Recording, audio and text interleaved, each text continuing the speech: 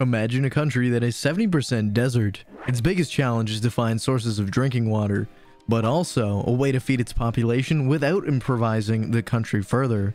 This is the situation in which Israel found itself years ago. Now, this small country is light years ahead of the rest of the world. Indeed, despite many challenges, Israel has managed to establish itself as a world leader in water management. As a result, it has transformed an agriculture sector. Many developing countries have turned to Israel to benefit from its experience. But how did this dryland country do it? Stay with us, we'll tell you all about it in this new video from aTech. Let's go.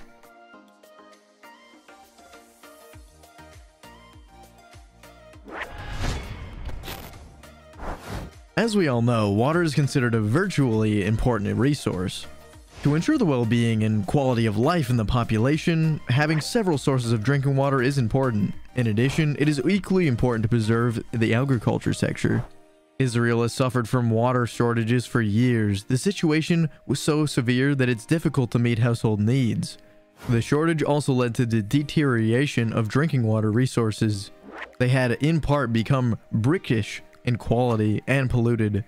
The agriculture sector suffered greatly. Water allocations had to be reduced considerably. This led to drastic reduction of agriculture productivity. The degradation of an already arid land followed. The country needed to find an urgent way to supply water to its population and agriculture sector. Israel therefore found two variable solutions to find sources of drinking water. First, through the reuse of wastewater. Between 65 and 70% of wastewater from urban industrial areas is now reused in agriculture. This water is of course treated before it can be reused. It is treated in biological treatment plants through the country. 130 mm3 of water per year is recovered. It is used for irrigation or treatment of soil water. Extensive water quality monitoring is done to maintain a safe reuse system for this water. About 10% of the treated water is used for environmental purposes. Only 5% of water waste is discharged into the sea. Speaking of the sea, the second method of water supply depends on it. 70% of Israel's domestic water demand is met by the desalination of the seawater. This is a process by which salt and other impurities are removed from seawater. The country is thus able to produce drinking water. In other words, the country manages to produce about 600 million cubic meters of desalated water per year. This is enough to meet the needs of its population. Simcha Blass is the creator of drip irrigation. This invention changed the world of agriculture, especially in Israel. This invention was the result of a happy accident. Simcha found a tree that was growing into the water. He had discovered that there was a small pipe leaking, and this leakage fed the tree a small quantities. This discovery led him to develop drip irrigation. In 1965, Simcha and his son had already developed the first experimental drip irrigation system, and together they established Netafim, their first drip irrigation company. This system revolutionized agriculture system in Israel. Unlike sprinkling irrigation, this system delivers the right amount of water and nutrients directly to the roots. And unlike rotary sprinkler irrigation, Netafim's invention waters the plant at the right time. As a result, the plant gets exactly what it needs for ideal growth. It was a very economical system. But how could such a process work in dry lands of Israel? On the other hand, one process that continues to improve itself is the subscription to our channel. We share daily selections of high-tech products. For those who are eager for new topics, you'll be able to discover every week topics like this one. Don't hesitate to suggest topics that you're interested in in the comments. Back to drip irrigation. This process works on any type of soil, so even in deserts or arid soils, it can be used.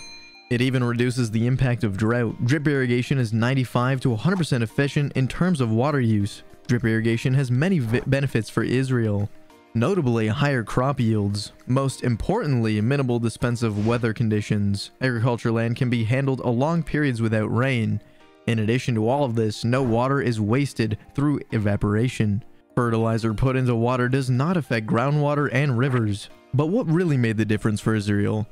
In the first place, it's an efficient government. In 1950 and 1960, it consistently demonstrated visionary leadership.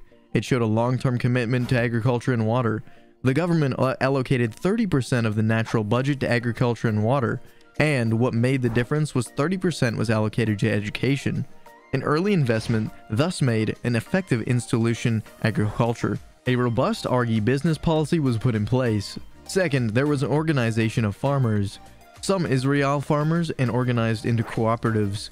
Others were private farmers represented by a farmers association. This facilitated their bargaining power. Indeed, it allowed them to become competitive and operate efficiently. They had access to finance, research, training, agriculture inputs, and markets. Finally, a relevant market-based approach. The market has a research as a guide for government and farmers. It facilitated planting, prioritization, and coordination. As a result, Israel's become a world leader in many products. These include dates, pomegranates, oranges, and tomatoes. Despite many challenges, Israel has over the years managed to transform its agriculture sector. Israel has the highest tomato production of 300 tons per hectare compared to 50 of the rest of the world. In addition, it also has the lowest harvest and grain loss in the world. The country has also established itself as a world leader in water management.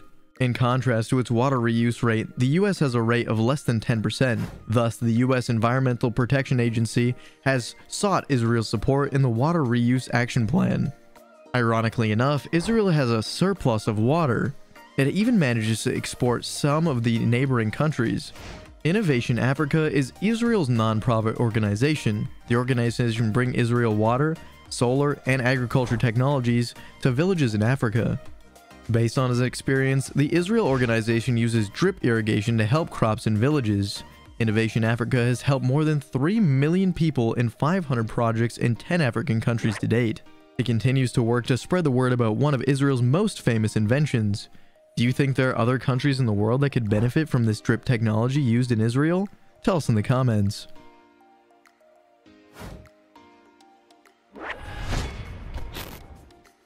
And that's it folks, we've reached the end of our video. If you enjoyed the topic of the day, give us a little blue thumbs up. Please feel free to share this video and let the curiosity of people like you know about it. And to make sure you don't miss our next topic, subscribe to our channel. Don't forget to turn on that notification bell. Thanks, and see you next time on aTech.